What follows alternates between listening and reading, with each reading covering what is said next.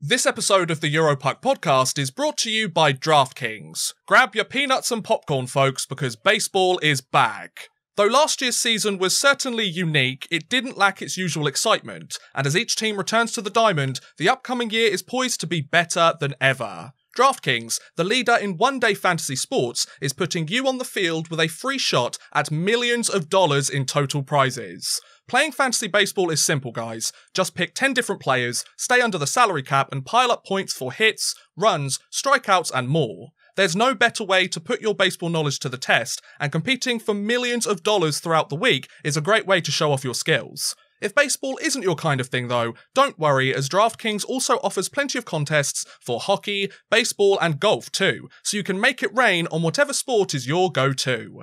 Download the DraftKings app now and use promo code THPN during sign-up to get a free shot at millions of dollars in total prizes. That's code THPN during uh, during sign-up for a free shot at millions of dollars in total prizes for a limited time only at DraftKings. A big thank you to DraftKings for sponsoring this episode.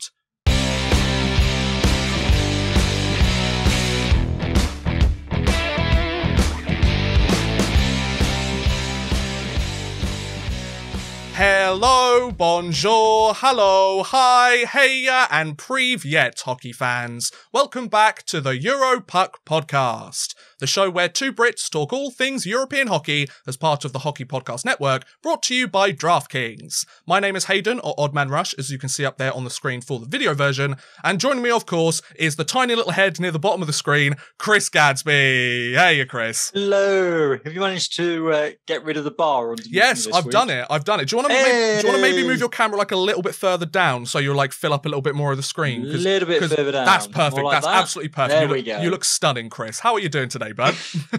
Yeah, not bad. I'm I'm I'm a uh, being an adult again. Where it's come around to that time of the come round to that time of the year again where you start to make home improvements and oh, doing yes. you know adulty things. So this morning, uh, I think there's there's something kind of strangely manly about this as well. I ordered a skip. Oh, you manly man. What are you going to go do? To go to the gym and lift weights afterwards, Chris? You're going to lift the dumbbells or something? I don't need to. We're taking up the concrete path in the garden, and that's heavy enough. Oh, geez. Okay, fair enough. Um, the, the one thing I want to say about this last week for me is the weather has been absolutely ridiculous. Now, I know this is typical, like, you know, um, water cooler talk, being like, oh, lovely weather we're having, eh, guys? But, like, the, it literally snowed like 20 minutes ago while I was walking my dog. Yeah, And I have had three batches of snow today, and Oh in between the three batches of snow, I've been out in the garden lifting the concrete in a t-shirt, oh, well, fair enough. um, I mean, about 10 days ago, it just was. to kind of give you the. Yeah, yeah, there's been such a juxtaposition. But like, uh, I, I was uh, telling my sister as we were walking the dog, I was like, we wasn't it like 10 days ago where it was literally 22 degrees outside and like everybody Yeah, this time last week. Yeah, everybody was wearing a t-shirt and like if you wore a hoodie, you would like be sweating like crazy. And now it's snowing. Yeah. Like, what is going on? Snowing. Yep. Oh, global warming, please UK. stop. yeah, UK or global warming or both, who knows? Um, but since we've had snow recently, I guess that means that the hockey season doesn't want to be done just yet, and it means that we've still got plenty of things to talk about going on through Europe. However, we are getting towards the beginning of the end, ladies and gentlemen. We're starting to get to the point. I know. I know several leagues Unless you're around in the Europe. UK. Yeah, unless you're in the it's UK. just starting. Literally, yeah. Unless you're unless you live where we live, in which case you've got another four weeks of hockey madness. Uh, but we're going to talk about that in a lot of detail because the Elite League has started their mini tournament season, and I think we'll go into a bigger discussion compared to some of the other leagues about that. We- We'll leave that till the end. You know, Yeah. Get, leave something for you guys to hang on to. You know, if you want to know our thoughts on the Elite League, stay till the end of the episode. Um, but let's look at the usual leagues we do. Uh, let's start with the KHL first, which are currently. Well, I w- I'm not going to say deep into their um, conference final stages, but they they could potentially be at the halfway point of their uh, conference final stages Yes. based on how things are going at the moment. So obviously, only four teams remaining. Um, Akbars Kazan, the first seed, the second best team in the regular season throughout the KHL, currently two games to nothing down on uh, Avangard Omsk, the second seed in the Eastern Conference. So that's a bit of a surprising lead for them. And then on the flip side, I told you it was going to happen, didn't I, Chris? I told you that this was going to be the result. CSKA Moscow, two games to nothing up on SK St. Petersburg. And the thing that's irritated me even more is the fact that St. Petersburg haven't scored a single goal so far this series, and I hate it. I was going to bring that up. Yeah. Yeah. Yeah. So, uh, Chris, what are I your thoughts? Well, yeah, I, I know you do. Um, what are your thoughts on the first two games of each of the finals? Obviously, we've got a game going on today. I believe it's game three of the Western finals. So, hopefully, St. Petersburg is, can get a win. But Game three between uh, Moscow and St. Petersburg, starting in about a quarter of an hour um, as we're recording this.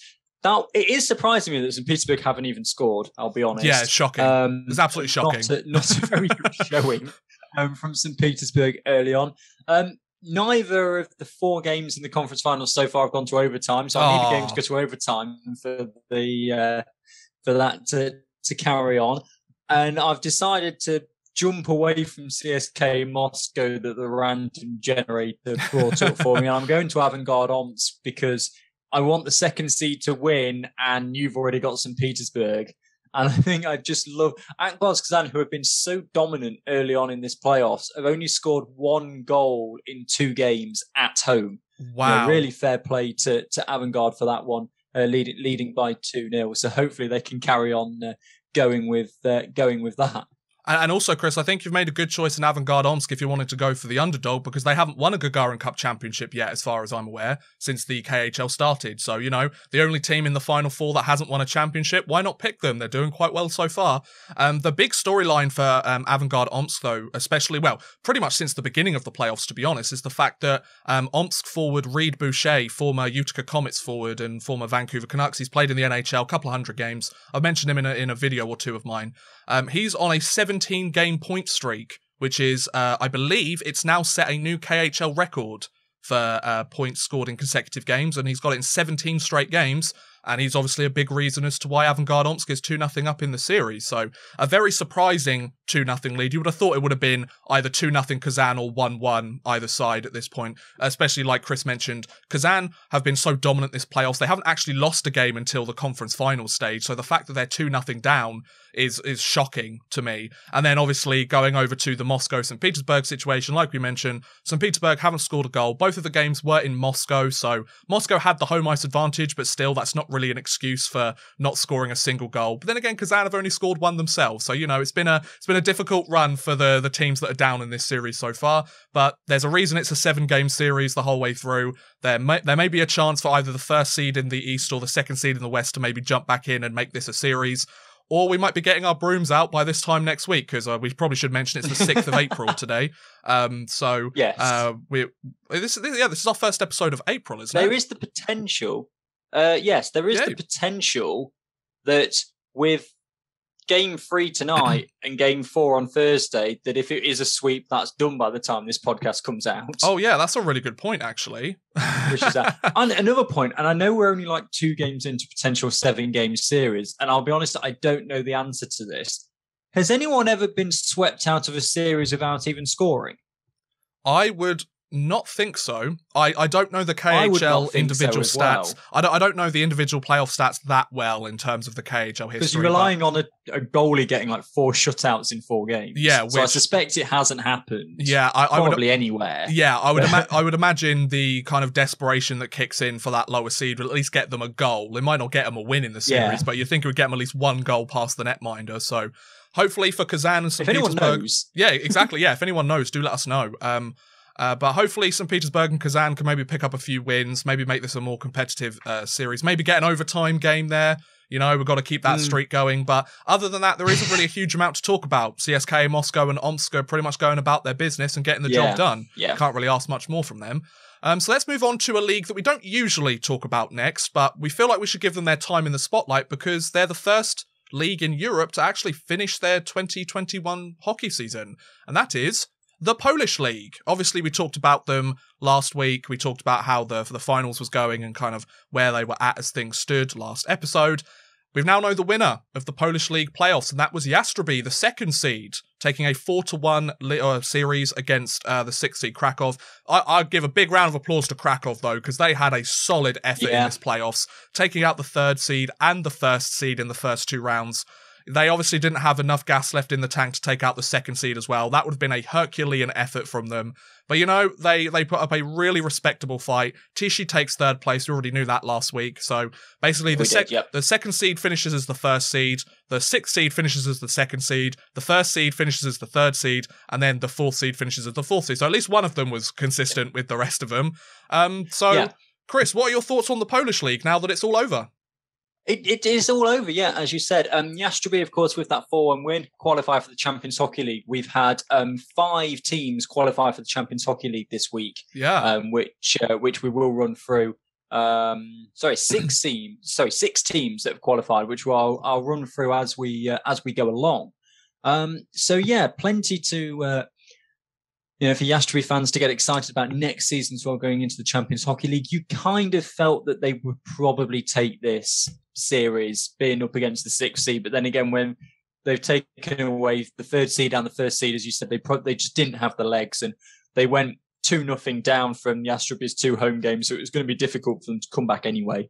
Um, but yeah, fair play to, to Jastrzębie to to winning that league, and you kind of feel that they they do deserve kind of winning that league because if you remember, they only finished uh, two points behind Tychy in the regular season in the 36 game regular season. That's because Tychy had two overtime losses that that Jastrzębie didn't. They got the same number of regulation wins, the same number of overtime wins. Jastrzębie's goal difference was better by 12. So, you know, they are worthy champions champions of that league. And it's also worth mentioning that they only lost two games throughout the entirety of the playoffs too. So it's not as if they Yeah. they kind of got through to the finals by the skin of their teeth or anything. They took out MMKS Pod uh, Podhale, I should say, uh, swept them in the first round, and only lost one game against Katowice to stick them in the third place uh, playoff.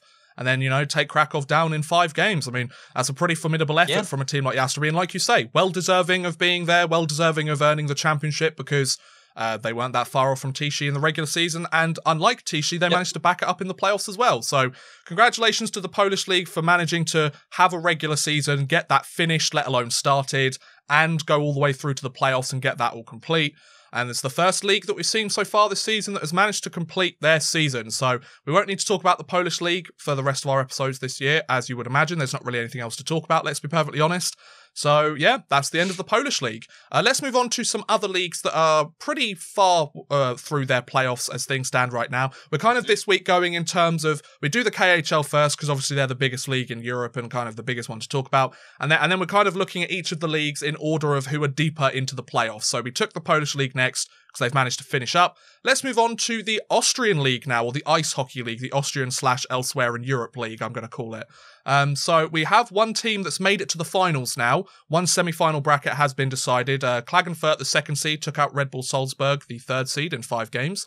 But we still have one more series to go in the semi-finals, and that's HC Bolzano taking on the Vienna Capitals, the first and fourth seed, three games to two. So still everything to play for in that series. Is there a game seven in the in the cards? Will Bolzano take them out in six? Will it be a one-two um, finals, uh, of one-two seed finals, or a four-two seed finals? Chris, what are your thoughts on the Austrian League and their playoffs so far? Um, Chris, I think you've muted yourself. I'm not sure I can hear you. I muted myself. There we go. Sorry about that. it's okay, no worries. I've got as well as the um the screen there. I've got the buttons on here, and if it Right. like, knocks against the chair, I can mute myself. Don't worry. I I, So, I yeah, immediately let- heard you not talking, and I thought, let's nip this in the bud right now. no, that's fine. Yeah, just let me know. I'm really liking the Austrian league. Mm. Um, you know, really fair play to Vienna to take Bolzano to to five games already, and they're still within uh, in with a chance there because they are at home for Game Six tomorrow night. Um, as we're recording this. Klagenfurt, of course, they will be hoping that Bolzano win that game six. Why, you potentially ask me? because if they do that, they get the trophy of Austrian champions. yeah, the most important trophy in the get through. entirety of hockey. if Bolzano get through into uh, the final. Yeah, so you know there is uh, there's that as well. Of course, Klagenfurt already in the Champions Hockey League. The um, you kind of don't get an extra place unless there might be some working down that you need to do, but there kind of isn't the tour the playoff winner position right. um because Austria only get uh, uh six five four not sure because I'm not at this point but it's you know they they might get some in but I think I want Vienna personally because of the underdogs. Um, Yeah. But yeah, really, even if they come out, you know, fair play to Vienna because they've taken Bolzano, who just you know, really dominated in that first part of the of the season. They finished what? Okay, three points clear of Klagenfurt, but they never really looked like being caught. Vienna, who were in fourth, so uh, I'm in, I'm liking the Austrian league. I, I want Vienna to win now that there's no Black Wings to wind you up with. Fair play. Um, do you have the um the series between Bolzano and Vienna like on hand, or could you get it on hand quickly just to kind of see like how Yeah, the games have it. gone? Um, because I'm I'm curious to know if if uh Bolzano took a really early lead. Because I I'm not not gonna lie, I've no, completely forgotten the scores. Okay. So um, it's going with the home games, to be honest. So first game, Bolzano 2 1. Second game, Vienna 2 1. Third game, Bolzano 6 3. Fourth game, Vienna 4 1. So even the even the gaps between the teams have been the same all the way Yeah. through the series. So if it goes if it goes to the form, Vienna will win tomorrow night by two goals, and it will all come down to the game seven. Oh, that's going to be interesting, isn't it? yeah, if, if things keep going the way they're going, the home team, Bolzano, sometimes it does make a difference if you end up having that home ice advantage, and maybe Bolzano would be able to capitalize on that. But regardless, like you say, Vienna, they've given it a good fight regardless. It's not very often we see the losing team have two wins, uh, although they still lost in six, uh, six or even seven games. So the fact that we've actually put, had the losing team put up a bit of a fighting chance, I like to see that, you know? Um, so that's a look at the Austrian league. Let's move on to the Czech Extraliga now, shall we? And they Mhm. ha- are they're pretty they're kind of the halfway through their semi-final stage, similar kind of point to where the KHL conference finals are at this moment in time. And one very Yeah. interesting result, and one kind of result that we would have expected. So uh, HC Sparta Prague are currently two games down to Bílí Tygři Liberec. Uh, the fourth seed, so the first seed down to the fourth seed, and then Oceláři Třinec, the second seed, against Mlada Boleslav, the third seed, one one. So the second and third seed, you know, they're they're very close. You would expect that. The but the fir- the first and fourth seed, the fourth seed's winning two games to nothing. Chris, what is happening in the Czech league at the moment? Yeah, so I mean, the first game, Sparta Prague just never really showed up. Um, I the Czech league is one that I get statistics on. So they took the lead in the first period, uh, Okay. right near the end of the first period, and they were one 0 up. Then they it go was one one after two periods, and then Liberec just turned it up. 147, 852, 1420, and 1926. Four Wow. unanswered goals in that third period. If I just look at the stats for the third period, there were actually equal shots on goal um, with 12 each in the third period. So Liberec with well scoring one in every three shots.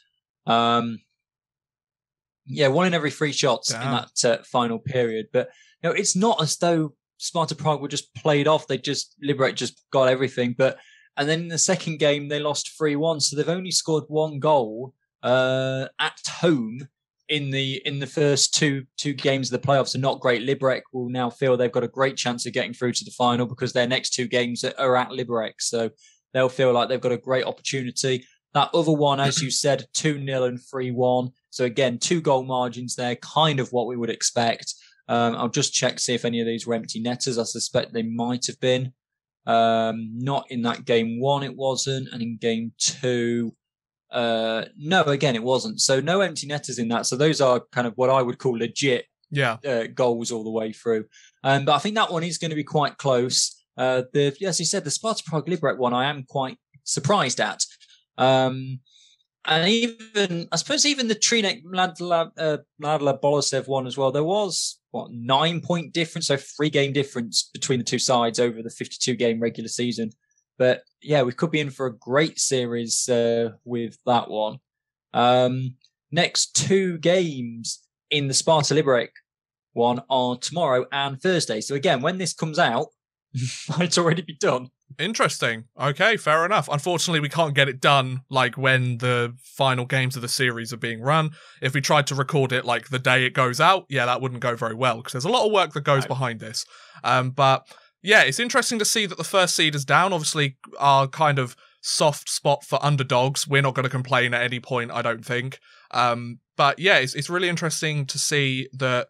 I mean, the, the, the problem is all of these teams swept their opponents in the quarterfinal round, so it's really difficult to know what kind of matchups there are going to be because it's not as if any of these teams showed any kind of weakness during their previous round. Because don't forget, all of the four teams that are still in the competition, they all got a first round bye. So every single game they played before Yeah. the semi final round, they swept their opponent. Obviously, uh, Prague may have got the easier running of it compared to some of the others with the 12th seed Olomouc, although Olomouc did beat the 5th seed in the first round, so they were there by their own uh, merit, you know. But the fact that there were no teams that, you know, lost a couple of games or or threw a game and ended up losing uh, in five, it just goes to show that, like, they showed no signs of weakness against their previous opponents, so it's really difficult to kind of gauge how they're going to play against each other. And now that they are, it's really interesting to see that Sparta Prague have struggled early on. Obviously, like we said in the KHL, it's the seven game series, you know, anything can happen. Um, but, you know, the more games they lose, the less likely it is, right? And uh, the Trinek uh, Boleslav game or series is going to be fun to keep an eye on because, you know, 1 1, I feel like that could easily be a 2 2 series after their next two games.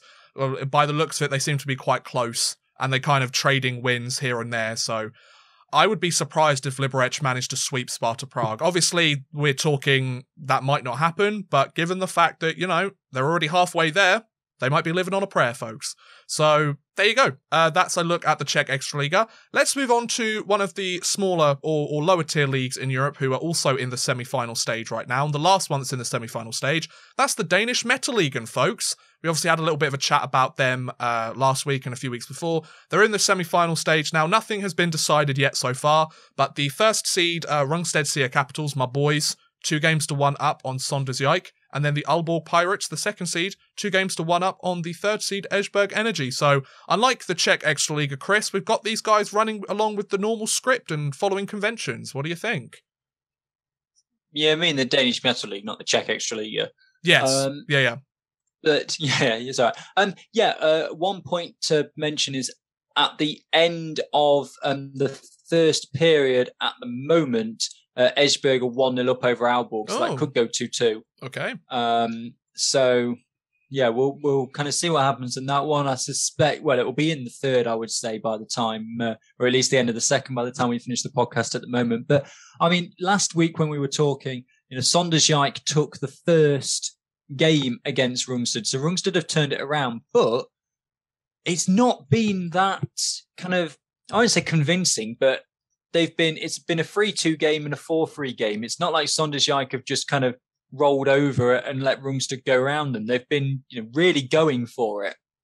Um, seems to be that the game-winning goal uh, was really late on in game two, 1804, and in game three it was a power play goal. So you know these are really close games. So don't be surprised if Sønderjyske gets another win or two. You know, takes it to six, takes it to seven.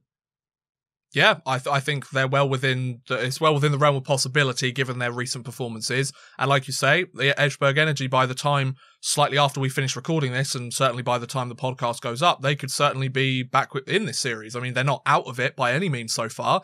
It's nice to actually see a semi-final series or both semi-final series where like a, a team isn't in the, a chance of being swept. You know, it's nice to see them get a little bit more Mm. competitive than some of the other leagues in Europe. And obviously, there there might be a bit more of a le- or less of a disparity between the teams in the uh, Danish Metal League and compared to elsewhere in Europe.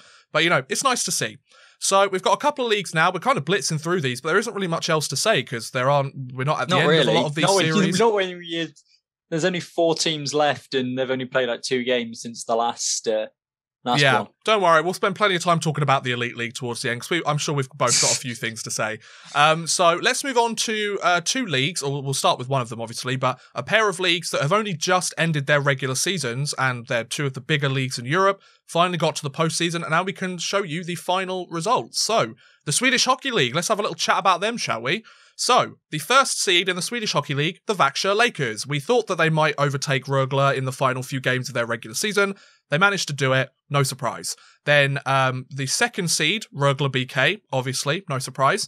Then uh, Leksands managed to finish with the third seed, considering they're one of the smaller hockey markets in the Swedish Hockey League. Managing to do that is pretty impressive. Then uh, uh, Skellefteå is the fourth seed, with Luleå as the fifth seed.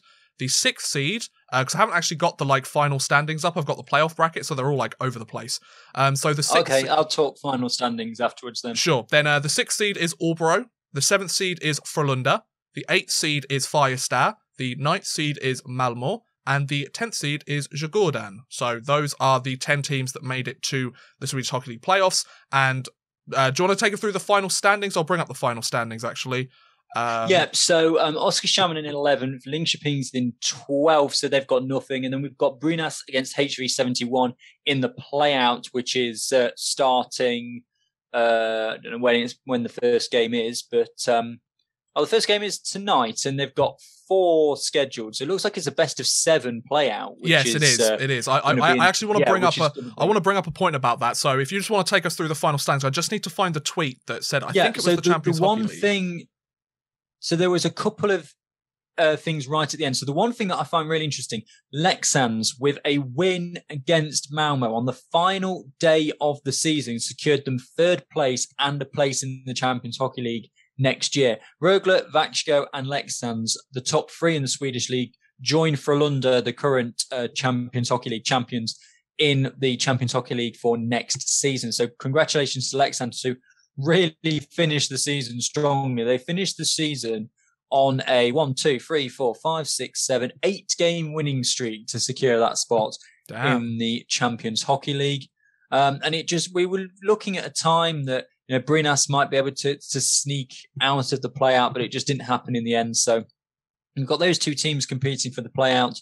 You've got uh, Frölunda against the Djurgården and uh, Färjestad against Malmo. Now, these playoffs, again, they are, um, they have started now. The uh, first games were last night, both 3 1 victories um, for the higher ranked side in that one. Um, this is a two legged affair. Um, so it will be an aggregate score over the first two legs. So it's going to be difficult now for Malmo and uh, Djurgården to get themselves back into this one. They've got to win by three goals. Um, and they have got to win by three goals away from home in both instances as well. Interesting. So I can't find the uh, the tweet that I was looking for, but I saw. I can't remember who posted it, but I saw a stat saying that um, Brynäs and HV71, um, obviously they're in the playout round, best of seven series. Mhm. Both of them have been in the Swedish Hockey League. I think they've been consistently in the Swedish Hockey League. You might need to fact check me on this, or somebody listening might need to fact check me. But I believe they've Right. both they've both been in the Swedish Hockey League since the 60s. I think this is like the first time they're playing in the playout round, either like one of them since the 40s and one of them since Oh, the okay. 60s. So like we're, we're talking about two teams that have had a lot of experience playing in the Swedish Hockey League, have been considered one of the top teams in Sweden for the last half a century, and they're now they're now playing in the playout round. It just goes to show you how how crazy things can be sometimes. So um, I, I you might need to fact Yep, check me I'll on have, that. uh, I'll have a look and Yeah, I, I tried to Yep, look on the Champions Hockey. League uh, uh, Twitter, but they I thought it was them that posted it, but it wasn't. But while, while you do that, I'll take you through the playoff brackets. So the first, the second, and uh, so only the first and the second seed are the only teams that have a first round bye, by the looks of it. Or um, they've because they've got some of the matchups. The fourth and fifth seed, for example, are matched up, but they're not playing until the quarterfinal round. So it looks like several teams. So first through sixth have got that first round bye, but uh, in order to find out who's playing the first and second seed, you have that round of eight. So that that, that makes sense. So um, like we saw in the Swedish Hockey League standings here, first to sixth. So Växjö down to Örebro. They've got a first round bye. They don't play anybody, but several of the quarterfinals brackets have already been decided because there's only two teams that are going to come through from the from the first round of the playoffs into the second round. So uh, it's either going to be Färjestad or Malmo to go and play Växjö, the eighth and ninth seed, or it's going to be Frölunda and Djurgården to play Rögle in the uh, second round as the second seed. So um, as things stand right now, Färjestad, the eighth seed, playing Malmo, the ninth seed, one nothing up for Färjestad. The uh, series or the uh, playoffs only just started recently, so um, very early days in this, and obviously the more the, uh, over the next week or so, we'll get a really clear idea of who's going through to the second round. And then Frölunda, the seventh seed against Djurgården, which um, my uh, my guest appearance on Hockey Ferber um, told me that these two are actually quite the rival teams. uh, from what I've been told. So the, um, the, this must be a really interesting uh, playoff series for those two to go up against in the first round. Frölunda have taken a one to nothing series lead. They are the seventh seed against the tenth seed, and whoever wins that gets to go through against Rögle. Now, wh- while those quarterfinal uh, matchups are being decided, the the matchups that we do know that are taking place in the second round: Skellefteå against Luleå, the fourth and fifth seed, and Leksands against Örebro, the third and sixth seed. So I think I figured that out. Hopefully that makes sense to you guys listening. Chris, did you manage to find that stat? Yeah. So, um, uh, so as far as I could make out, um, you've got Brynäs, who yes have been in the top division since 1960. Um, they've been in relegation playouts, but have always won them. Right. HV seventy one was about nineteen seventy five. Right, my I bad. can Okay. they've been in the top tier. Okay, interesting. So, I mean, we've got, well, even still, we've still got teams that have been in the top tier. Yeah, they may have been to the playout round, but they've survived the playout, and they've been in the top tier for the last 40, 50 years. And that just goes to show you, like, obviously, they've slacked off a little bit, and some of the newer, maybe fresher teams have come up and managed to get the job done where they haven't. So, um, that's a look at the Swedish Hockey League as it stands right now. It's a little bit confusing when you first look at it, but once you sit in there and have a little think about it, it makes sense. Um, so Färjestad one nothing up on Malmo and uh, Frölunda one nothing up on Djurgården, and that's the only playoffs that have been played so far. Once we come back next week, I would imagine we'd be at least three games into those series, so we can have a little chat about whether we're going to see who's going to go through, maybe a team's already gone through, and how the quarterfinal matchups look. Um, speaking of a very similar situation in Europe, let's talk about the Swiss National League, shall we, folks? So a very similar, pretty much the exact same um, format to the Swedish Hockey League. Um, the first seed and the second seed, uh, they don't know who they're playing yet in the uh, in the second round of the playoffs. So so first through sixth, once again, all have a bye. The eighth and ninth seed and the seventh and tenth seed are playing. Whoever wins each of them will go up against the first and second seed. The fourth and fifth seed are playing each other in the second round, and the third and sixth seed are playing each other. So, uh, Chris, do you want to just take us through the final standings of the uh, Swiss National League? Um, so, and then I'll take them through the playoffs. Yes. Yep. So no surprise to anybody really that um, Zug won the league. really? Um, they finished with a hundred. they uh, they finished with 119 points, um, which was 2.29 points per game. Then Lugano in second, Fribourg in third, Lausanne in fourth, Zurich in fifth, Servette in sixth, Biel in seventh, Davos in eighth, Bern in ninth, Rapperswil in tenth, Ambri Piotta in eleventh. So Rapperswil, uh, you know, with some good wins towards the uh, end and having the game in hand that never got played, just got them in there above Ambri Piotta and the Langnau Tigers down in 12. Obviously, they've done a points per game thing. We'll mention as well that they've taken the top four. So Zug, Lugano, Freiburg, Gottéron, and Lausanne. They're in the Champions Hockey League. So those are another four um, in the Champions Hockey League. So yeah, it was kind of it was one where you couldn't really call it too much because of doing the points per game and yeah. Bern, for example, who made 48, they are on 56 points. They've done quite well points per game. As you said, again, it's this situation of the the top two teams don't know who they're playing yet because they're going to play whoever's through first round. So it's why the playoff bracket looks a bit strange at the moment. Yes, and speaking of the playoff bracket, I'll just take you through the matchups for the first round. So you have HC Davos playing against SC Bern, the 8th and 9th seed, going up against each other in that first round. And the only other series in that first round is uh, Biel against the Rapperswil Jona Lakers, the 7th and 10th seed. So whoever wins between Davos and Bern will be playing against the first seed juggernaut that is EV Zug. Whoever wins the 7th and 10th seed matchup will be going up against the second seeded HC Lugano. Then, obviously, elsewhere in the second round, you've also got Lausanne HC taking on the Zurich Lions, the fourth and fifth seed. Then you've got Fribourg Gottéron taking on Geneva Servette HC as the sixth seed. But as it stands right now, no games have been played in the Swiss National League playoffs, so not really much to report on. We just wanted to take you through the final regular season standings, and that's where things are right now. So hopefully by this time next week, we'll have a few uh, results to talk about. I don't think we'll be through to the second round of the playoffs just yet, but we'll have some results to maybe get an indication of who's going through.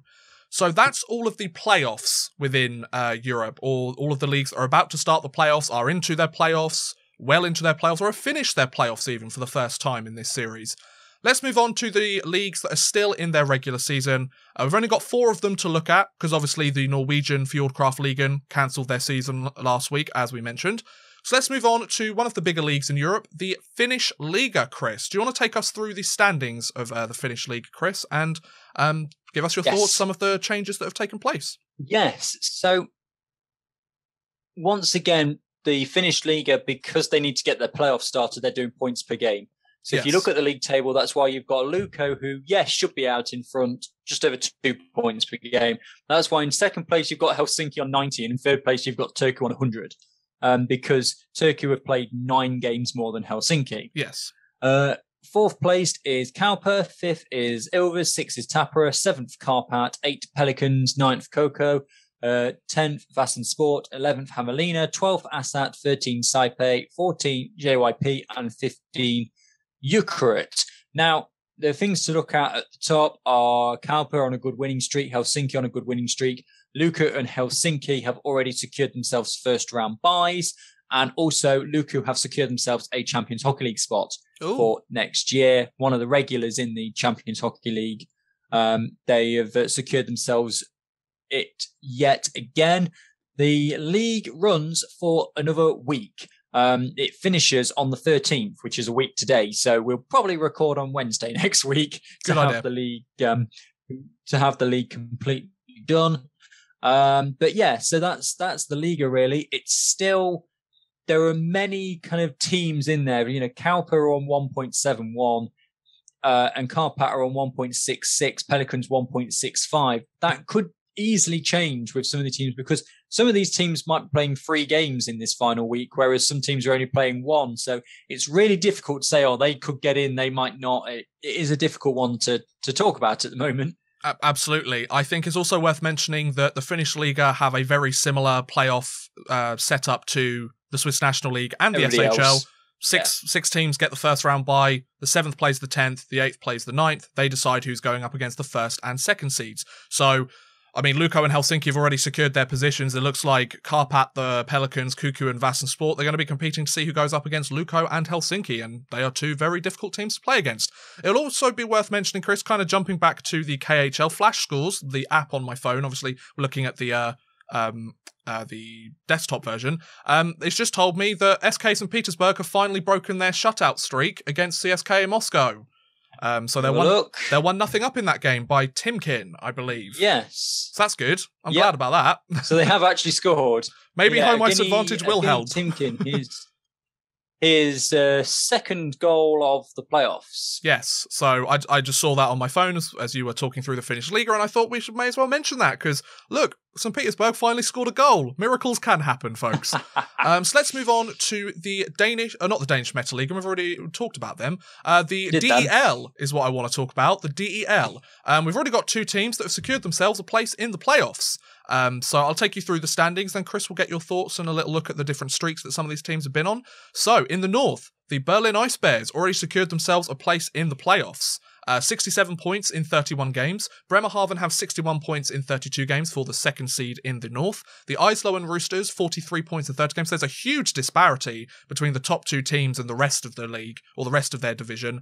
Then the Wolfsburg Grizzlies, 43 points also, but in 31 games played. So very close there. Battle for the third seed. You got Dusseldorf not that far behind either. With uh, although they have 44 points in 32 games, so I'd imagine they might be doing it based on points per game percentage or uh, points per matches played, something like that. I would imagine, um, but they haven't got that listed on flash scores, so we're just going to take it at face value as it stands. Then you've got the Cologne Sharks. I think the thing Oh, go is with that is I think that I was going to say I was going to they're- they're probably doing it um, just in case they have to do that quick cancel because the DEL Yeah. has always been really um, like conscious of it. But I until they actually say that's definitely what they're doing, then um, I suspect that's that's why. Yeah, especially because they've got Dusseldorf with 44 points, two places back from third, even though they've got one more point than the other two. But they have played at least one more game in hand than the other two opponents. That would make sense based on what we've seen Yeah. from some of the other leagues in Europe. So the Cologne Sharks, 41 points in 32 games, and then the Krefeld Penguin, our favourites, 15 points, 31 games. They have scored 61 goals. They have allowed 144. Oh, jeez. Uh, then in the South Division, we have Adler Mannheim taking the first spot and the first playoff berth in the South. 75 points in 32 games. So they are clearly the undisputed leader in the DEL this year. They're don't know what's happened down there in Adler Mannheim, but they're getting the job done. Uh, then you've got Red Bull Munich, 61 points in 31 games. They've been on a bit of a winning streak recently. You've got uh, Ingolstadt with 55 points in 31 games. They're very comfortable in the third seed in the south, uh, with the Schwenninger Wild Wings taking the fourth place in the south with 43 points in 31 games. The Straubing Tigers, 41 points in 31 games, so not that far behind a playoff berth. The Augsburg Panther, also 41 points in 32 games. So once again, Chris, I think we're seeing an example of the south being being pretty dominant over the North. And then the Nuremberg Ice Tigers, 27 points in 31 games. So that is the standings as things are right now. Chris, your thoughts on the DEL season? Yeah, I mean, it's there is starting to be a bit more red turning up in the south. Um, mm. If we just talk about the the points, of course, so it's a 38 game season yes. in the DEL. So if you look, let's look in the north. Let's look at Dusseldorf. They've got 18 points left available, so they could get to 62. So Bremerhaven, they're one point away from the playoffs. Yes. If we look in the south, Straubing Tigers, they can also get to 62. So Red Bull Munich, one point away from the playoffs. So we are starting to see that. I mean, particularly in the north, like those final two spots are really going to come down to the wire. Um, yeah. Ingolstadt will probably get in with a few games to go, but uh, Schwenninger, Straubing, and Augsburg, that will go down to the wire as well. So, you know, it's not very far away from being able to tell kind of what's going to happen here. Let's look at Krefeld Penguin.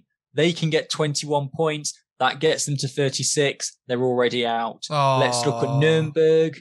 They can get 21 points. That takes them to 48. They're very nearly already out. Aww. So we want to just kind of keep looking at the DEL finishes uh, with me on the uh, do 18th. So okay. two podcasts time, we'll have the day at DEL finished. Interesting. God, we are really getting towards the end of these regular seasons. And I mean, by the time the DEL season is over, we'll be either completed several different European playoffs and kind of through to the conference finals or semi final stages of loads of them. God. Well, the- if you think that we're only seven, like seven weeks, seven and a half weeks away from the World Championships. So everything's yeah. to be finished by then. That's a good point. That's worth mentioning. Absolutely. Oh, I'm looking forward to the World Championships this year, Chris. I, I, I, I feel like because we've been so starved of hockey in the UK, I just want to see GB back on the ice again. It's been too long. It's been too yeah. long. Um, so the penultimate league that we're going to look at, usually the final league, but this league has also finished its regular season. So we're gonna we're gonna finish off this episode with an ending, but then also with a beginning also. So the French League Magnus, ladies and gents, has finished their season according to Chris. So if he's wrong, blame him. Uh, but as far as I'm aware, they have finished no, they their have. season. So um, have, yeah. I'll take you through the final standings, then Chris will get your thoughts. So the final standings. On, uh, oh, go flash score out of curiosity. Yes, I am on flash score. Is that wrong? Looking at that, yeah, there is there is a slight yeah. So um, I I had a look through again just to because I, I found it strange that the league would be wrong. Yeah, I kind of thought that's not like the league is surely right, and the league is right. Um, but all that's happened is flash scores, but they haven't taken enough points off Nice. Um, so I'll just in the hmm. in the nicest way, um, I will just um have a look at the. I'll compare the two and then just go through what the differences are. Okay. Um, from what I gather, I think it's relatively the same, but Nice should be below Mulhouse. But when it decides it wants to load up, I'll tell you. Um, so the final standings is Rouen, Angers, Grenoble, Gap, Cergy Pontoise, Amiens, Bordeaux, Mulhouse, Nice, Angers, Chamonix, um, yeah. So on flash scores, Nice should be on 27 and be in ninth. That's the only difference okay. in terms of the ranking. Okay, fair enough. So, um, uh, so yeah, like Chris mentioned, the final standings of the season. Obviously, they did it based on their own little points thing because of the mismatch in uh, games played by certain teams. It's not quite, it's not quite the same as the other leagues that we've looked at in terms of points no, per matches played, is it? They did that average rule of three thing. Yes. So so basically, uh, the French league season has ended. Uh, it would take us far too much effort to sit there and explain all of it to you. Um, for the amount of people that are probably sitting there going, "Oh, Hayden, Chris, tell me about the French league Magnus season, please." Uh, so, well, Rouen Rouen have got the Champions Hockey League. There's no relegation. They're not doing any playoffs. There's no cup. French league is done. So, like the Polish league, we just won't talk about it anymore. Yeah, basically the French League Magnus is done. And you know what? Speaking of Champions Hockey League, I'm really excited for that to come back as well. I really missed the Champions Hockey League this year. I don't hmm. know, like it's one of those leagues that you kind of tune into when you get the chance. It's not necessarily one that you're like, oh, I have to sit down and watch all these matches unless it's your native team. But the fact that like we, I, I feel like because it wasn't there, I missed it. I, I missed it more than I thought I would. And you know, I, I because we've been doing this podcast and talking about it a lot, it would have been nice to have talked about the Champions Hockey League and seeing these teams Yeah, go it up would. against each other in kind of the inter Europe competition. But alas, it's back next season, and Rouen going to be there. So, Chris, we've got our final league to talk about. I talked about that the League Magnus was an ending. We have a new beginning here for the next four, five weeks. And that's the British Elite League, Chris. We made it. Woo! Yes, So, I know. Ladies and gentlemen, the uh, 2020 slash 21. Uh, that's what Flash Scores calls it, their Elite League season. However, it's the yeah. kind of uh, su- Super Elite Series, series. Elite Series, whatever it's called. I can't really remember. I think it's the Elite Series. It's I think you're right there, Chris. Um, so British and Norwegian, basically. yeah, basically. Um, so yeah, Manchester, Coventry, Sheffield, and Nottingham are playing for the next month or so, and then there's the playoffs Yep. and all of that stuff. Uh, I want to get into a conversation about the absolute debacle that was their first game with uh, Nottingham, Sheffield. We're going to talk about that in a moment, but I'd like to talk about the uh, the standings first. So as things stand right now, Chris, remind me how many games does each team play in this Elite Series? Uh, 12. It's 12. Okay. See, I was, uh, I keep getting confused because I know it's like a 24 game season, but I always keep thinking like each team's playing 24 games. Then I think they don't have enough time to play No, 24 each games. team is playing 12. So we're already a Each team's playing 12. yeah, we're already a decent chunk of the way through the season, Chris. Uh, so, so um, as things stand right now, the Manchester Storm currently sit in first place in the league with four points in their first two games, a win and an overtime win. Um, so they're doing all right for themselves. Uh, the Coventry Blaze, they are in second, uh, three points. They got a overtime loss and a win. The overtime loss coming to the Manchester Storm, and a win against the Sheffield Steelers. The Sheffield Steelers are sitting in third place with two points, with a win against the Nottingham Panthers and a loss against Coventry. And then last and kind of least, the Nottingham Panthers, as things stand right now, um, with two losses. There, they lost three two and three one. I want to say, is that the final score of the second one? Uh, yes, three one. Uh, so yep, those are the standings right now. Obviously, they each play twelve games, so they've got each team's got twelve more game, uh, ten games left to play. Uh, Nottingham are playing Coventry or Man. I think they're playing Manchester today, uh, or Coventry. I can't remember. Who cares? Um, so that's the standings. There's really not that much that's happened for us to talk about in terms of the on ice play of these teams or how the standings are going to affect stuff. All the teams are making it to the playoffs anyway, so it's not as if there's any team missing out. It's basically just to get some playing time. Now, Chris, I'm going to move away from the uh, Elite League on the flash scores and just kind of go back to the two of us. So we're going to have a little chat about the Elite League because it's Okay. it was a it was a bit of a shaky start, let's say, for the Elite League. Obviously, Yeah. let's let's keep in mind that a lot of these guys, some of these guys have played in Europe um, uh, earlier this season. Some of the guys have been playing. A lot of the players, in fact, have been playing in the uh, Norwegian League, um, which obviously suspended right early January, so they haven't played in several Yeah. months. A lot of the British players might have played in the kind of NIHL series, but they might not have played consistently as they would in an Elite League season. I think it's fair to say that the quality of the product on the ice wasn't its finest. Understandably so, given the the circumstances. I think it's going to get a lot better, but Chris, I'm really curious to know your thoughts on what you saw from the on ice product because I could tell that it was very much it was it was very sloppy in a lot of ways for all of the teams. It wasn't just one team in particular. It's very sloppy, but it's understandable given the circumstances. And I think by the end of the tournament, it will be a lot more refined. What do you think? Yeah, I think so. I think because it's not an elite league that we're used to seeing, because it's not half the team isn't Canadian. Yeah, Um, you know that that does make a difference. It's all been very disjointed because we had the we had the draft, which went fine, but then we were trying to get players in, and some players still aren't there because their European team is still in the playoffs, Hmm. and some are arriving soon, and some teams have had to have their head coach in isolation for a bit, and it's just yeah, and you know it's kind of the team problems. And as you said, it's um you know they had the problem with the stream, which I know we'll go on to, and and just that that game itself. What I think the one thing that I have kind of come to the conclusion of already is that the the Panthers Steelers rivalry that particularly and there are Nottingham fans that go at it on Twitter as well, but particularly Sheffield fans just love on completely unrelated matters to say, "Oh, look at how bad Nottingham doing," and you yeah, you know exactly what I'm saying. Oh yeah, for sure. But you know, and it it I think a lot of people have got to forget that the results just don't matter in this.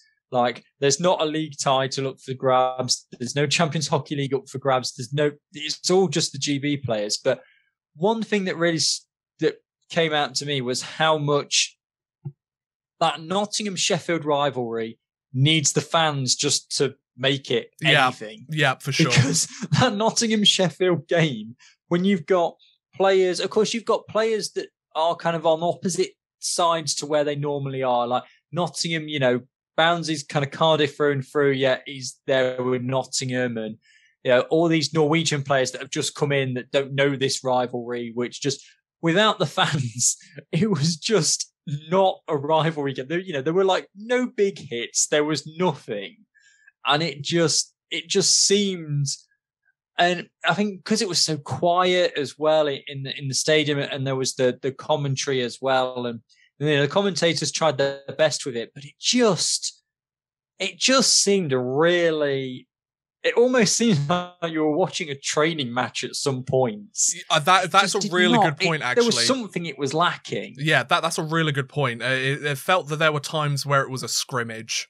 Like, like uh, you know, like how the Toronto Maple Leafs or something will do like a a blue versus white scrimmage during preseason, then they'll stream the whole game and let fans watch it. That's yeah. how it kind of felt like. Um, I've I I completely agree with what you're saying in a lot of ways. Like the rivalry didn't feel the same. Obviously, the rivalry was never going to feel the same without fans in attendance because the fans make the rivalry, don't they? Like, no. let, us let, be honest, the the rivalry between teams like Nottingham and Sheffield is five percent what happens on the ice and ninety five percent what's said on Twitter. let's be honest. So, um, like, yeah, and the other, yeah, and the other thing as well is that you've got like the, you've got the like the players who have been there long term. You know, you've you've got your Lakovic, Betteridges, and then on your other side you've got your Dowd, O'Connors, who who tell the other teams to tell the other players and the teams, you know, they meet each other so often throughout the season. You've got the fans, you've got the noise, you've got all of that. When you haven't really got any of that, and everybody knows that you just have an escape to get to match fix fitness, it just lacks so much. Yeah, uh, but I think also in the kind of the players' defense, like we mentioned, it was a lot of these players' first games as, as a part of these teams. So obviously they might not buy into the, the rivalry as much. I think come, you know, the 11th 12th game of the of the season i, I think kind of from the sixth game uh, the sixth match for each team onwards we're going to see a lot more pushing and shoving after the whistles we might see a few fights and and everything like that but i think the the first few games yeah. is just a lot of these players getting getting acclimated with their their role on a team because uh, the elite league has made a big point on their social media to talk about how a lot of young British players have been getting solid ice time, which is great. But at the same time, this is their first real experience of playing against, for one of the, well, for kind of inverted uh, commas, elite league level players. Because obviously some of them might not be in the elite league, you know, etc., etc. But the the fact that um, a lot of these players they're getting their first experience, whether it be in the league or in UK the the UK hockey system in general, um, there wasn't going to be that nastiness to this game that you would see in other games. And obviously, you make a really good point. The fans make such a big part of rivalries, and they make it so much so much fun to watch. As somebody that cheers for the Nottingham Panthers first, but like I also quite like the Sheffield Steelers. I think they do a lot of good for their community, and they're quite a, a solid organisation, all things considered. Yeah, fans on either side can can let tempers flare a little bit. Um, uh, but at the end of the day, like they're two solid organizations, two of the like premier organizations in the league. Um, the fact that the fans aren't in attendance, there it, it, it was lacking something. Um, well, anything you want to add to that? Yeah, I think that's why the intensity on the ice wasn't there as well. Because yeah. if you think if you're a um, yeah, if you're Panthers big hitter, for example, and you're at the National Ice Centre, seven and a half thousand fans, of which six and a half thousand are cheering you on. your mindset is I make this big hit against the players on the board. The fans will all love it. There'll be a lot of energy, and the players will feed off that. When the Mm. fans aren't there, you think, well, there's kind of no point me making this big hit because if I miss the big hit slightly or get it wrong, you know, I could get injured, yeah. But if he manages to skip past me, I'm then out of the play. So I may as well just kind of hold him up at the red line rather than trying to make that hit. So yeah, it lacks something. But I wanted um your opinion, Hayden, on the the stream YouTube stream on okay. um on Saturday night. Plus then what Todd Kelman came in the Elite League came and said after it. Yes, so uh, I'm glad you brought this up. Just to kind of finish off on the last point, because I do want to talk about this. Um, I think Yeah. I'm glad that you brought up like injuries. I think that's a big part of why we might not see the usual intensity, because like you said at the very beginning, this is a tournament that's to get our GB players into game shape. The last thing that any of these teams is going to want is one of the key players going down with an injury missing the tournament. Obviously, does that mean that players are going to not play their usual role on a team and kind of hold back? I don't think so. I think come playoff time, they're not going to they're going to play their usual game, let's be honest. And if injuries happen, injuries are a part of the game. If they happen, they happen. They'll happen to every single other team that takes part in the World Championships as well, not just Team GB. But I think, especially early on, also like you mentioned with the defensive schemes and stuff, a lot of these players are still trying to like learn the game plan from their coaches because they haven't exactly had the longest training camps or anything. So similar to hmm. when the NHL came back, it's going to be sloppy for the first couple of games, but once you kind of get a couple of weeks into it, I think we'll start to see the the UK players and the GB players start to really shine and kind of the quality of hockey be much closer to the elite league level that we're used to. But anyway, I, I digress. Um, so for those of you who are unaware, we talked about the prices of Elite League TV. Uh, I think it was two episodes ago now. I don't think it was last episode. Yes, probably was. Yes. two episodes ago. So we talked about how it was 150 pounds for all 24 games, 100 pounds for all of your team's 12 games, uh, something like 60 pounds, I think, or 70 pounds, 60, yeah. something like that for uh, your team's home games, and 13 pounds each for a game. Now, I've been sitting there for the last couple of days contemplating whether to get the 12 game package or just go single games. And I was busy working, recording, editing a video on the Saturday, which is when the Panthers played the Steelers at seven o'clock. And I thought, well, I want to watch this game.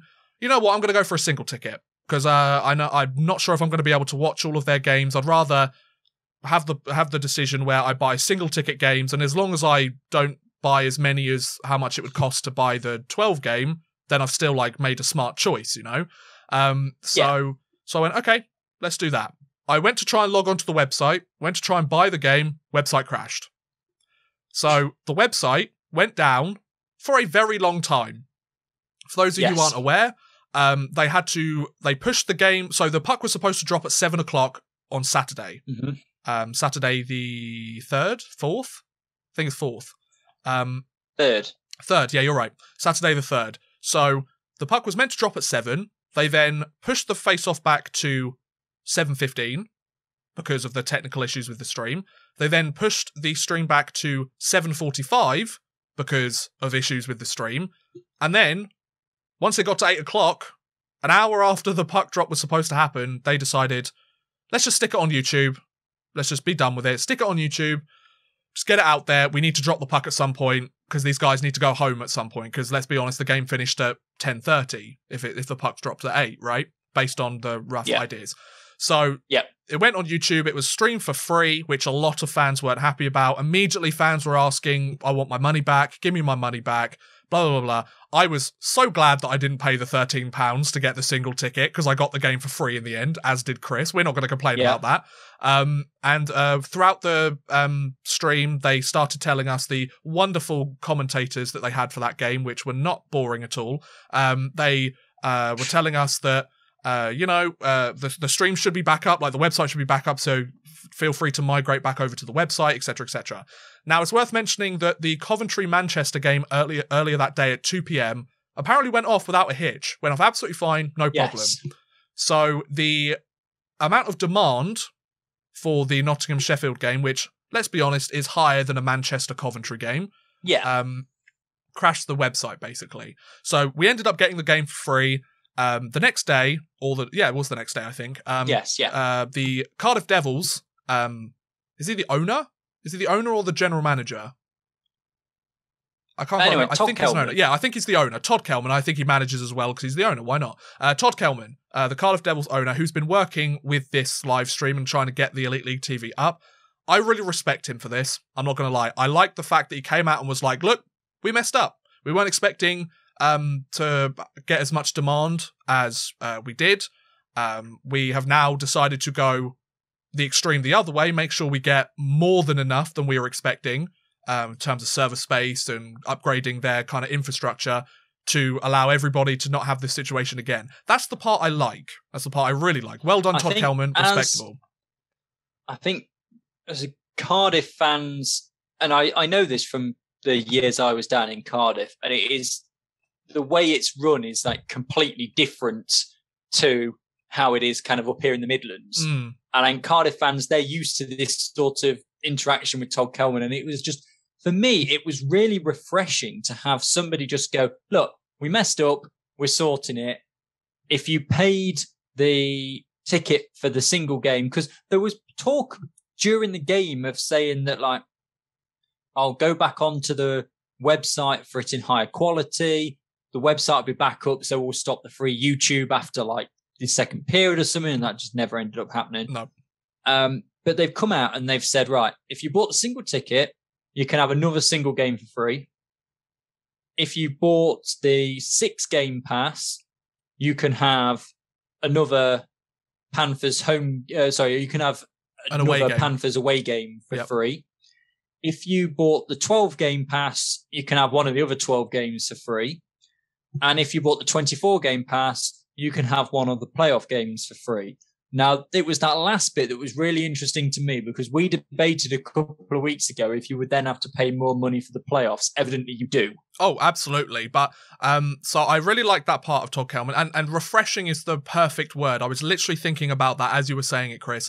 That that level of transparency was so refreshing. I could not imagine the owners of the Panthers or the Steelers coming out and do it. Maybe the Steelers, but definitely not the Panthers. I would never in a million years imagine the Panthers would come out and make a statement like that ever. So the fact that um, Todd Kelman was able to do that, and he was like, "Look, we may as well tell them what happened because you know there's a lot of people wondering." And you know, like this tournament's meant to be all about fun, right? And they've paid their hard-earned money. A lot of them are on furlough. You know, they're not making the money that they should be, and they've committed it because they want to help support our sport. We owe them some kind of explanation. Good. The bit I don't yeah. like, the bit I don't like about their kind of plans to, as they say, make it up to us. Now, I didn't pay for the game, so I don't get anything from this. So, whatever, you know? Yeah. I didn't buy the game. I don't get another free game. That's fine. That's how it works. I got the game for free. I can't complain.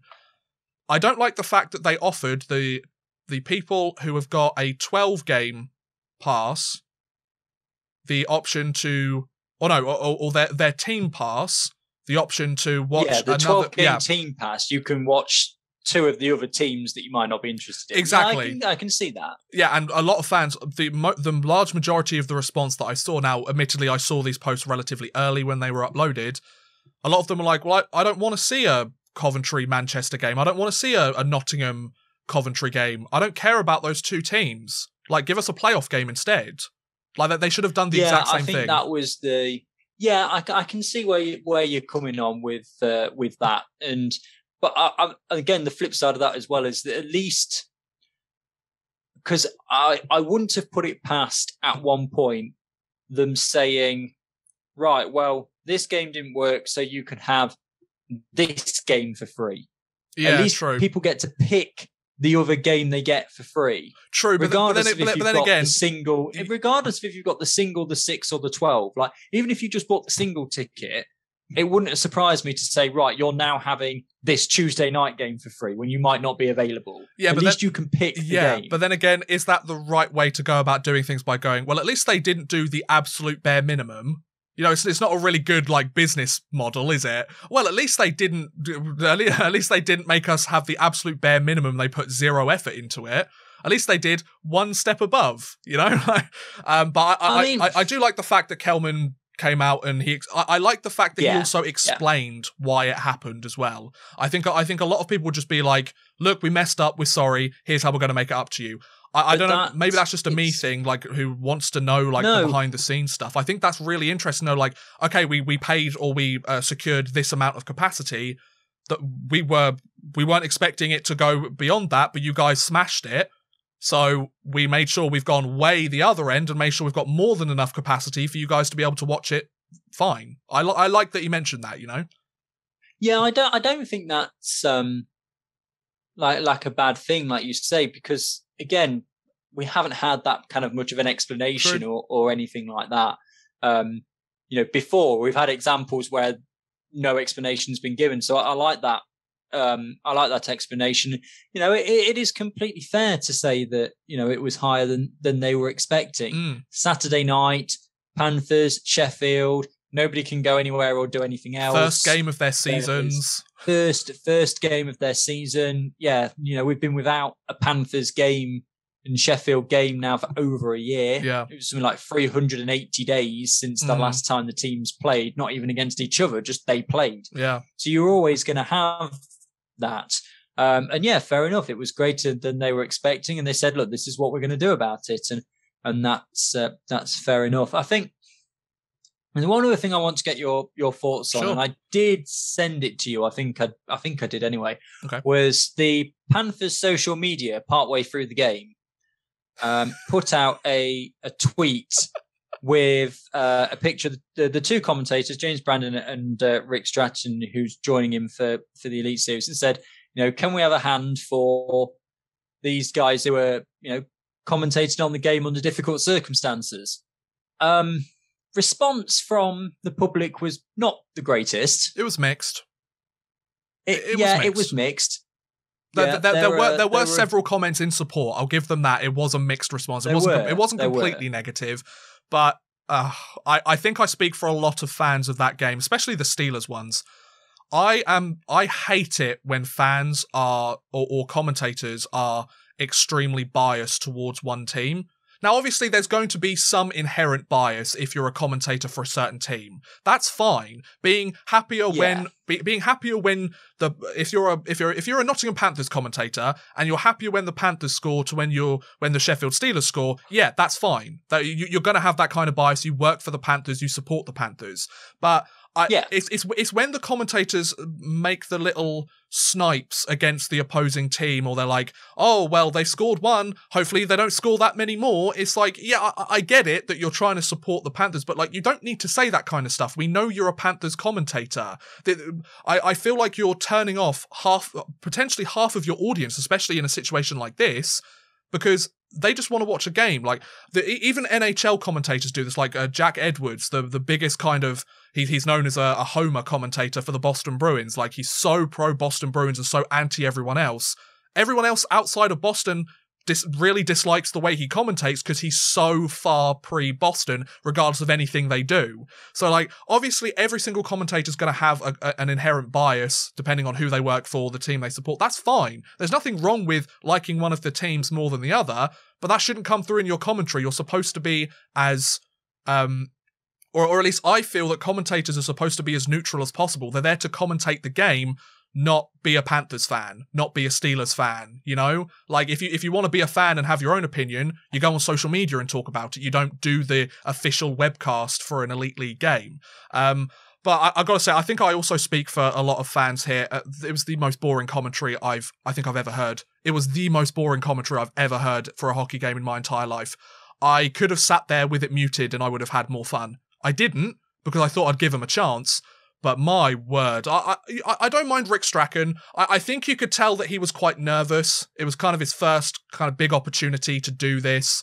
Um, so fair play to him. It, it's not an easy thing to do, as Chris will vouch for. Like commentating, especially getting up on the camera and doing that, it's not an easy thing to do. So like respect to people that do it, but you can tell that those guys they're kind of been thrown together. They didn't have the best chemistry with each other, which for their first game together you wouldn't expect anyway.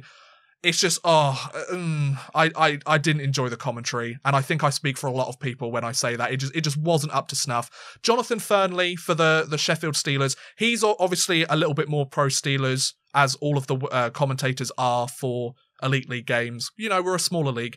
He, he's an example of one of the better commentators. Like he he knows his stuff. He's entertaining to listen to, which has got to be first and foremost with a commentator. If you're not interesting to listen to, why are you there at the end of the day? But that's my thoughts. What, what about you, Chris? I don't want to steal the thunder on that.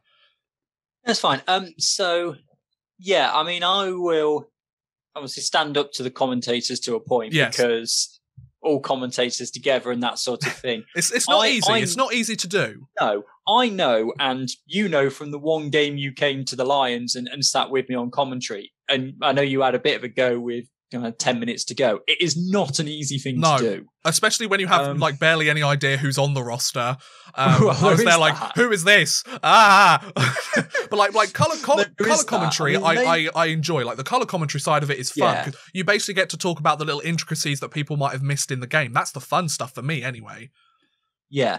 Um, you've got to remember that, yes, Rick Strachan is not a commentator, He's a recently retired Um, assistant coach, so he hasn't exactly had much experience. You know.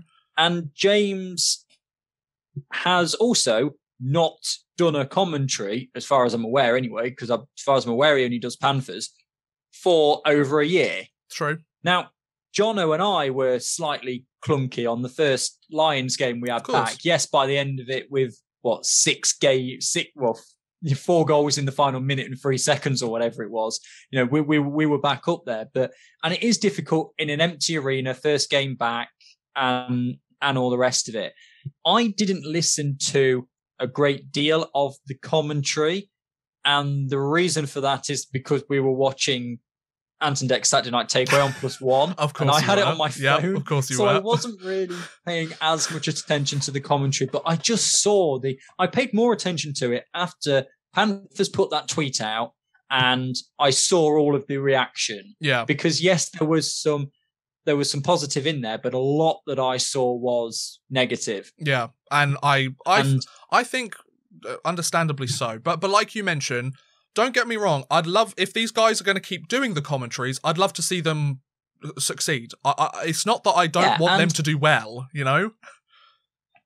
I have seen, um, you know, I from just watch Panthers highlights throughout the season. James is a good commentator when he's doing it regularly and all the rest of Yeah. it. I, I do think James is a good commentator.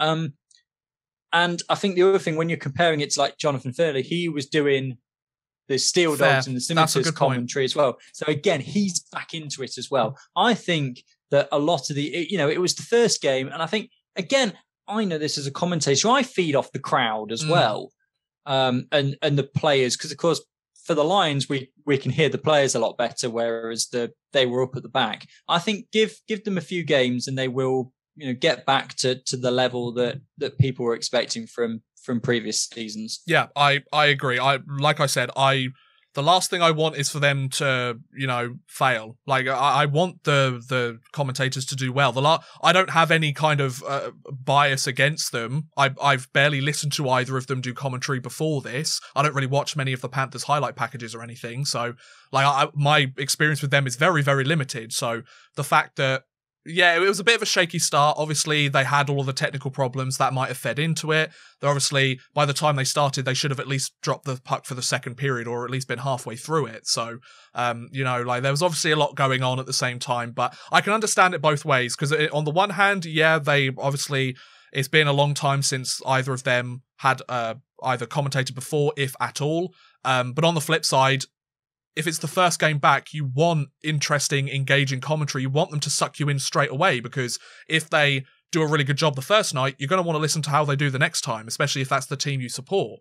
And and I, I think you would also agree with this, Chris, that commentary for stuff like this is a big factor into whether people stay and watch or whether they tune out and go and do something else instead. If they're not engaged with the commentary, they're just they're more likely to kind of be like, you know what, I think I can skip this or I'll catch the highlights later or uh, instead of sticking around and seeing the potential magic that can happen on the ice. Yeah, I suppose I suppose there is something in that. And ice hockey is a a more difficult sport to follow on the TV than Yeah. to say football because the lines are constantly changing. If football, you have your eleven players, yes, there's substitutes, but you know who the left winger is, you know who the the people in the midfield are, you know who the striker is. So you've got a rough idea of who is where, particularly when, as again in football, you've got different heights, different boot colours, different hairstyles. It all helps you out. Yeah. Ice hockey, when everybody's wearing the same jersey and they're all in a helmet, it, it is more difficult. But, you know, and it is a difficult thing to do. And the one thing I, the one thing I want to finish on and again, this is in, in support of the commentators, is that it is a hard, hard thing to do. And the vast majority, if not all, of the people who were saying it was boring and no good and all the rest of it couldn't do a better job. No, I completely agree. Like I couldn't have done a better job myself. I'll put that out there. I talk about hockey for my job. I literally do it every day. I don't think I could do it in that sense either. So, like, props to them for being able to get it done. Uh, the last thing I did want to mention in this episode, um, because we've talked about the the Elite Series, how good did yeah. Liam Kirk look in in those those opening few games? Like, the guy was scorching the net. Like, oh my god, he looks so good. Like, you can you can tell, can't you? You you can really tell that he's been over in America. The the difference is is so great, and this is why that this is a thing that long term, and we haven't got the time to talk about it now, perhaps when all the seasons are done. Yeah. When I was on the Lions commentary, I was talking to Seth Bennett, Luke Thomas, who are both junior coaches. They're saying that the problem we've got in this country at the moment is we've got promising 14 and 15 year olds, and we're having to tell them to go to America, go to continental Europe to get more ice time to develop because we can't do it here. And just look at what Liam Kirk has come back and is doing in the uh, in the Elite Series, and that just shows. He has the he was the fastest player on the ice. He had the quickest release off off the shot. He he wow. I I really hope he gets an opportunity in the AHL or the NHL at some point. Uh, obviously, it's still a long shot, but the kid knows how to play. Like his experience with the Peterborough Petes has been invaluable for him. And obviously, he yeah. was a go to guy for them, an alternate captain for the team. He obviously played in Sweden earlier this season and played with the Steel Dogs. So he's obviously got his legs underneath him. I think if he has a really good showing at the World Championships, he could turn a few heads. And I think he's capable of doing it and I'd love to see it. I want to see Kirky scorch yeah. up. He is such a fantastic so. player. But anyway, we can obviously go into so. more detail about uh, Kirky. We can as he it's lights now, the lamp.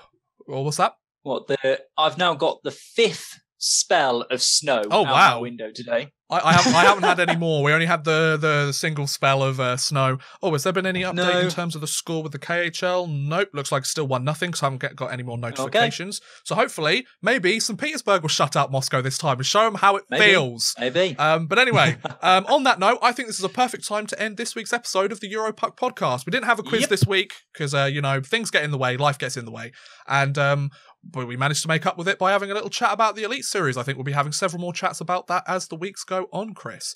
Um, yep, so yeah, if will. you uh, well, thanks for joining us. I should say, guys, thanks for joining us for this week's episode, whether it's the video version or the audio version. We do appreciate you checking us out. Um, if you'd like to uh, be updated on all things Europuck or send us your thoughts, opinions, questions, anything like that from today's show or for our next show next week, you can follow us on Twitter at Europuck Podcast and on Instagram at Europuck Podcast. We'd love to see you follow us. And if you enjoyed listening to either or both of your hosts today, which we really hope you did, um, then feel free to follow myself on Twitter at OddmanRushYT or Chris at Chris underscore Gadsby. Thanks again for watching or listening, guys, and we'll see you again next time. Have a good one, folks.